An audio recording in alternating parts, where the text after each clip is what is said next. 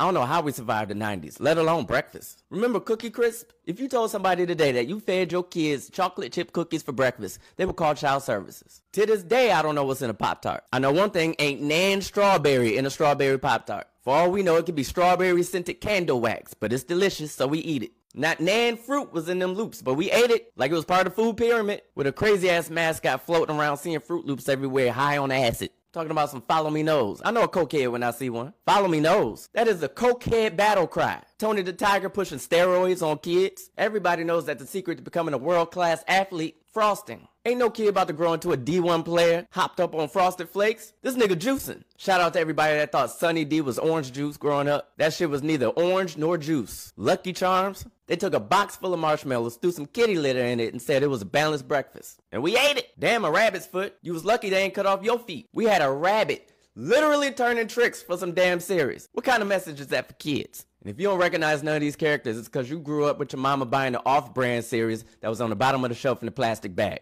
No shame, but the message still applies.